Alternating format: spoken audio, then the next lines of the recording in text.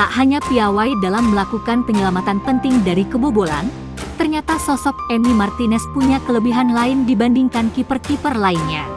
Ketika Aston Villa melawan Manchester United di EPL, ada sebuah momen di mana Dibu memberikan instruksi khusus kepada rekan-rekannya untuk berperan menghalangi pandangan David De Gea dalam proses tendangan bebas Lucas Digne yang akhirnya berbuah gol.